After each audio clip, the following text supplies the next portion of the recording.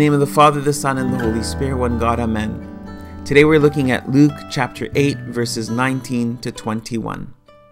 Then his mother and brothers came to him and could not approach him because of the crowd. And it was told him by some who said, Your mother and your brothers are standing outside desiring to see you. But he answered and said to them, My mother and my brothers are those who hear the word of God and do it. Glory be to God forever and ever. Amen.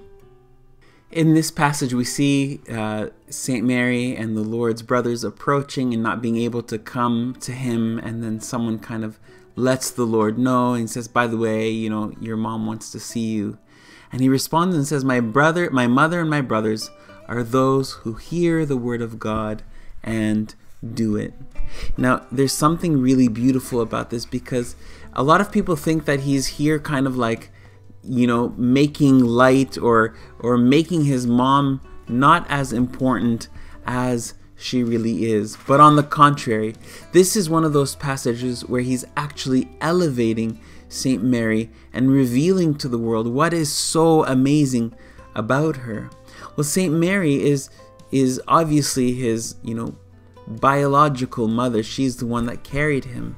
But what makes her even more special and even more important is that she is, you know, the one par excellence who both heard the word of God and did it. This is what makes her the Theotokos, the bearer of God, the mother of God, is that she heard the word of God and she did it. She is uh, an incredible example of humility and of of self-emptying, self-denying, self-forgetting love, uh, uh, and she lived her life in that obedience. And so, you know, some people think that this is him kind of making light of her, but but on the contrary, I see it as as you know really elevating Saint Mary and saying what is special about her is her love and obedience and willingness to live out the Word of God, the way of God. But He's also opening up His family to the whole universe. He says, you know, he, he opens the door wide and says, you know, if you want to be my mother and my brother, all you have to do is hear the word of God and do it.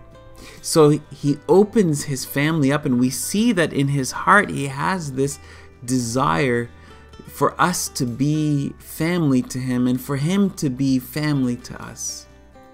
Um, today I don't I don't want to go very long. I just want to share with you a passage from Saint John Chrysostom. This passage has really been uh, uh, so beautiful to see and reveal how much God loves us and his heart and his desire to be one with us. He says, I am father, I am brother, I am bridegroom, I am dwelling place, I am food, I am raiment, I am foundation. All whatsoever you desire, I am. Be in need of nothing.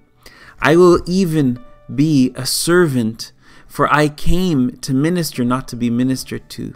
I am friend and member and head and brother and sister and mother. I am all. Only cling closely to me. I was poor for thee, and a wanderer for thee, on the cross for thee, in the tomb for thee. Above I intercede for thee on earth I am come for thy sake, an ambassador from my Father. Thou art all things to me, brother and joint heir and friend and member. What more do you want? This is a passage from St. John Chrysostom that, that really reveals like how beautiful our God is and how much he is longing to be all things for us. He says that He is father, brother, mother, and sister to us. He is all things, willing even to be servant for us, on the cross for us, in the grave for us. He says, only just cling to me.